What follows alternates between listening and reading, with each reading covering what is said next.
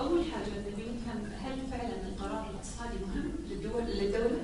أنا أعتقد ان إن القرار السياسي هو أهم حاجة بالنسبة للدولة، لأن الدولة مهما نجحت من الناحية السياسية إذا كان ما لها infrastructure اقتصادي كبير وقوي ما راح يكون فيها ديمومه أو sustainability، فبالتالي القرار الاقتصادي مهم لحياة الدول.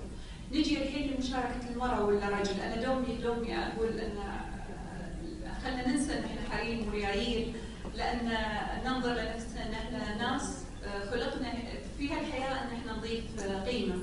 آه، وهذه القيمة لازم تكون لها تأثير إيجابي للخير للناس لنا لنفسنا لبلادنا وللناس أجمعين. فبالتالي المرأة أو الرجل مهم مشاركته في القرار السياسي. لكن هل نقدر إحنا كأفراد نفرض وجودنا على دول ونشارك يعني اطق الباب على الوزير أقول له تعال خذ رايي غصب. مستحيل. فبالتالي كيف إحنا كأفراد سواء رجال أو سيدات أو حتى شباب حاليا الشباب شفتوا أنتم في مصر وغيرها هم اللي آه، قادوا الربيع العربي ما أدري بعد هو ربيع ولا مش ربيع لكن آه، كان في قيادة من جانب الشباب.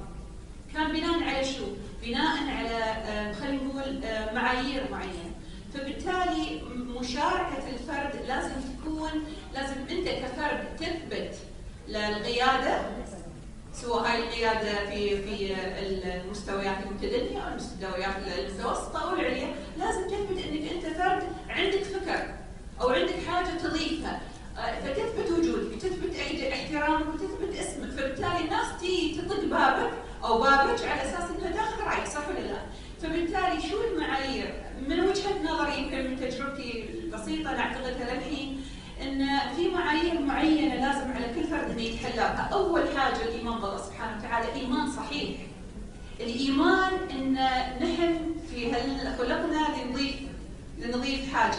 اعملوا كل القرآن كله العمل الصالح صح؟ فالعمل الصالح سواء تجاره سواء لازم نضيف بالي.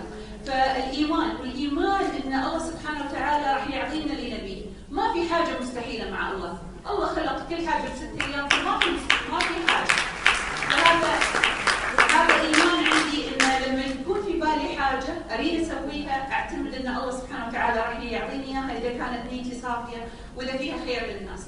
الشيء الثالث لازم يكون في شخصية شخصية قيادية فعلا، الشخصية القيادية مش شخصية آه، آه، هي بنت من ولا لا العلم الثقافة الخلق تخلين الناس لما تقعد معك أو تقعد معك تحبك فعلا لأنك أنت قاعد تضيف فاليو لها، قاعد تضيف